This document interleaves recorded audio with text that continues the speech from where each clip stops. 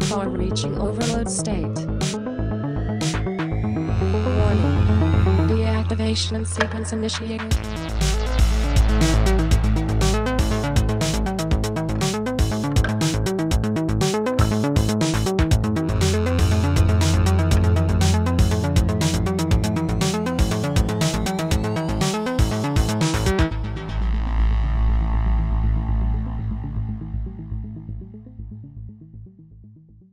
How's it going guys? Angus here from Maker's Muse and this this is possibly the hardest print in place puzzle out there. At least it's the hardest 3D printed puzzle I've ever devised. It all started when Fusion 360 introduced the ability to emboss cylindrical objects and I thought it could be useful for creating a kind of 3D maze.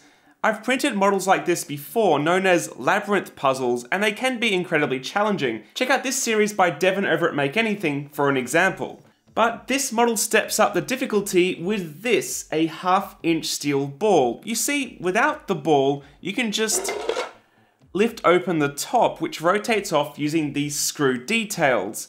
The ball, however, stops you from doing so and locks up the entire assembly. So the only way to solve this puzzle and open the canister is to manipulate and guide the ball through the three-dimensional maze. A maze you can't see. Yeah. The inspiration for this puzzle came from the fusion power cells in the Fallout universe, so I modeled in details to make it appear like a canister of some kind containing a fusion power source, with the metal sphere being required for the deactivation sequence to prevent overload.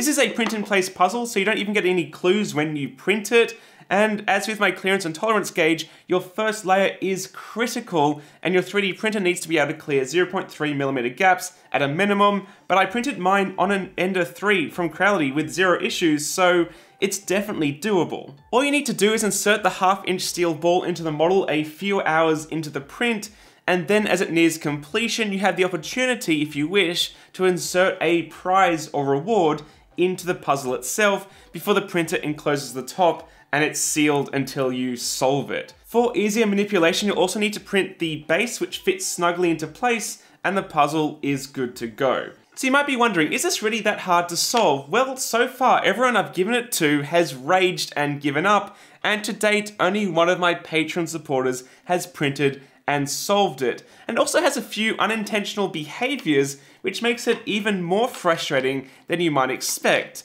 Not only can he not see where the ball is, relying instead on the sound and feel, but in some places it will, like, unscrew a little bit, but not all the way. This is really interesting behavior and a result of the maze's path interacting with the screw path, moving the ball inside the puzzle rather than it just rolling around freely inside the maze. It gives you the opportunity to view some of the hidden maze within, but the puzzle cannot be solved this way. It will bind up. It's really neat though, and something I didn't expect, but I do fully intend to exploit in a future model, that's for sure. It is possible for the ball to jam the mechanism if someone repeatedly tries to open it at the wrong time, but that state can be resolved and reversed. Don't worry, I've put myself through more than enough playtesting of this puzzle to feel confident that it's not truly impossible if printed correctly. But yes, there is a way to solve this puzzle that's a little bit less difficult if you really want to. One option is to print it in clear or translucent filament and use light to guide the ball because you can kind of see it when you hold it up to a bright light. I tried it with this one and while it does work, the effect isn't as translucent as I'd like because of the infill and honestly I'm not really a fan of the look. Instead, I prefer this approach. This is the key to the Fusion Overload puzzle, and yet you guessed it, it houses a strong neodymium magnet.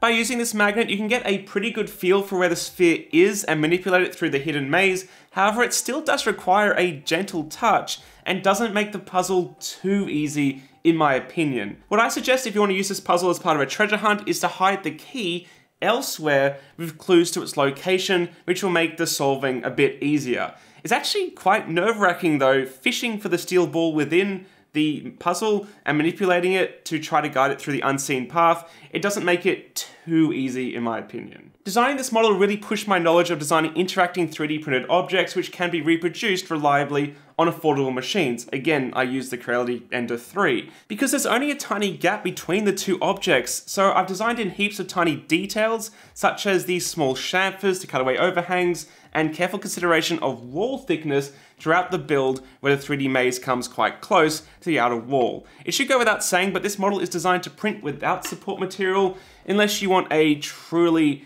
impossible puzzle. If you'd like to take the Fusion Overload puzzle test, it takes around a day to print at the recommended settings, and you can find the model linked in the description below. But I also upload models free to my Patreon supporters early, if that's something of interest to you, because they also helped me play test this. And you can also find the clearance test for this puzzle if you're unsure if your printer is capable of reproducing those incredibly tight clearances. You might want to give that a go before attempting the very ambitious print job of the puzzle itself. In the same vein of this puzzle, if you're interested in achieving a better first layer and avoiding the dreaded elephant's foot effect on your 3D print, you can check out this video. And if you want to see more crazy 3D printed puzzles and mechanisms here on Maker's Muse, then maybe consider subscribing because I'd love to have you on board. Catch you later, guys. Bye.